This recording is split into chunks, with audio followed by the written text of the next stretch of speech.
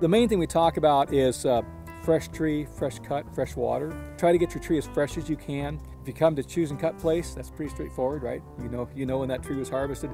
If you go to a tree lot, uh, a couple things people can do is what we call a pull test. Pull the, the needles. You should have any needles coming off in your hand. If you do, maybe keep looking. Depending how big the tree is, you can actually pick it up and tap the tree and see if any needles are coming off, and that's a good test to make sure you have a fresh tree. Then fresh cut. If you don't put your tree up right away, um, if you have it set or if you get it from a tree lot, is to cut probably about an inch or so off the trunk of the tree before you put it in the stand. What happens is the tree produces some resins and it kind of plugs up the pores where the water's going to move into the trunk. So a fresh cut and then lots of fresh water to the tree, uh, making sure that you check the stand every day. It's important to keep it fresh, keep the needles on it. The key to safety is keeping the tree hydrated. You'll see these videos out there that have been produced through the years of you know people lighting these trees on fire.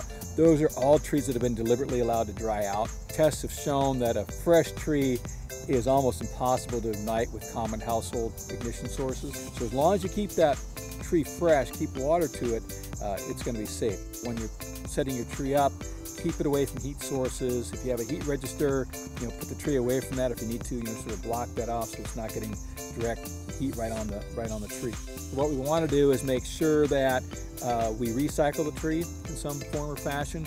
Lots of ways of doing it. Uh, a lot of communities now have recycle programs. Some communities have curbside pickup. They grind them up, uh, sometimes we use them as mulch for trails. Sometimes some communities have programs where people can come and pick the mulch up. There's other things you can do. Uh, if you have an acreage in the country, you can leave the trees out and as the needles drop, they become sort of bird habitat. But the big thing is not to let it end up in the landfill.